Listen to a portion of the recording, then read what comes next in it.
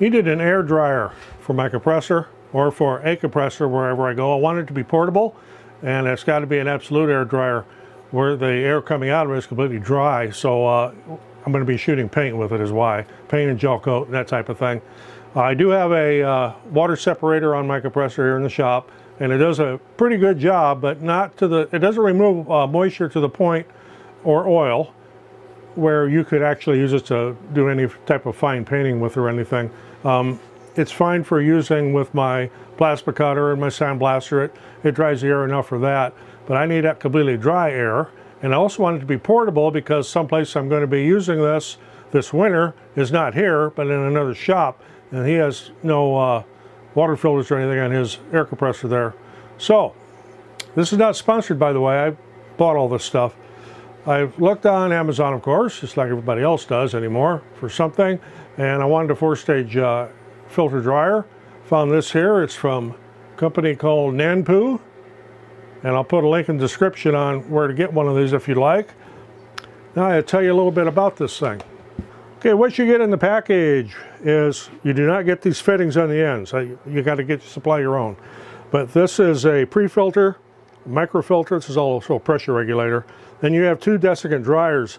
It also comes with uh, extra filter elements for the pre-filter and the uh, microfilter. Whoops. You get some spare O-rings and springs and such as that.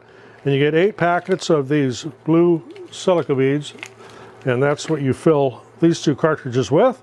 Plus I bought a extra quart of them just in case I needed them.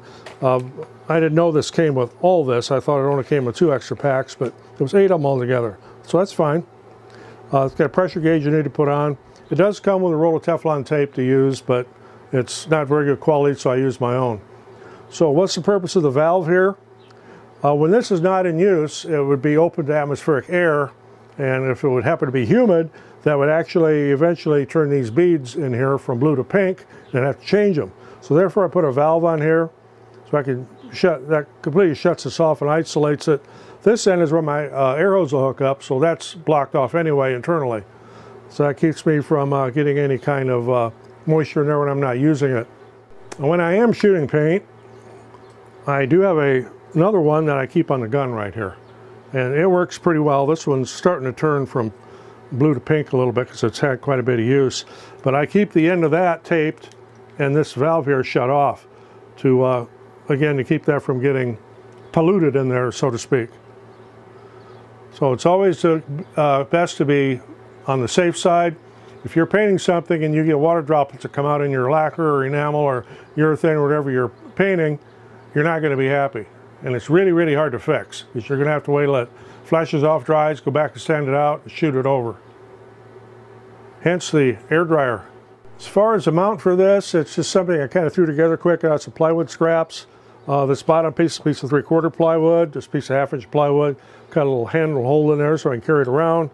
Threw a couple of uh, two by twos on each side. Make it good and sturdy, keep it from tipping.